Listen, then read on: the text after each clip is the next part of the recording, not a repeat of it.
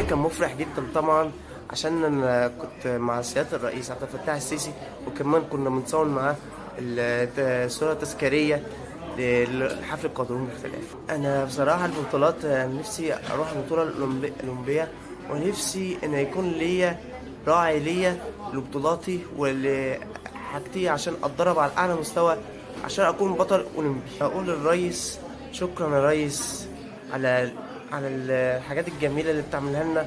وفعلا وفعلا شكرا ما تكفيش.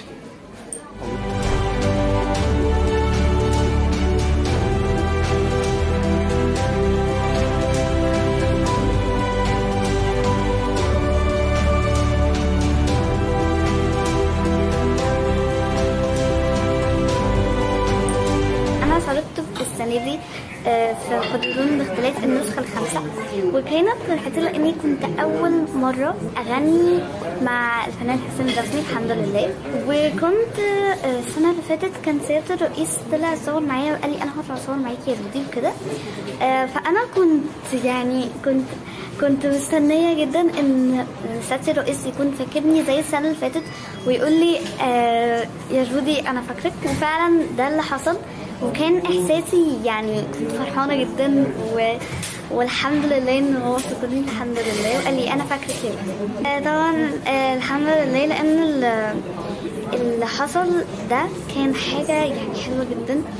ويعني كان إحساسي إن ده هيتوفر ليه اكسسبيلتي أكتر يعني قيادة أكتر للمكفوفين ونكون عارفين إزاي إن إحنا نتعامل مع الحاجة أو إن إحنا نعرف الحاجة سواء كان audio description في الأفلام أو حاجات بالبرايل فدي هتخلينا نعرف نتعامل مع الحياة ونعتمد على نفسنا. أكتر مبروك مبروك مبروك واهلا وسهلا. أهلا وسهلا. بيك.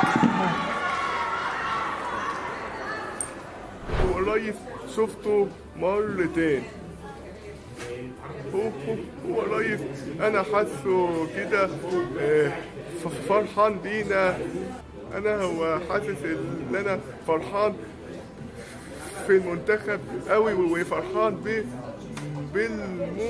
بالمدربين كلهم.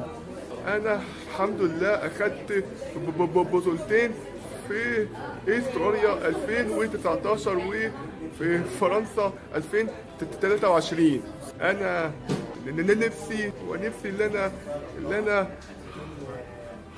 هتمرن كتير وأكتر وأحسن بكتير كده و أحقق كل وارفع راس مدربي الكابتن ضياء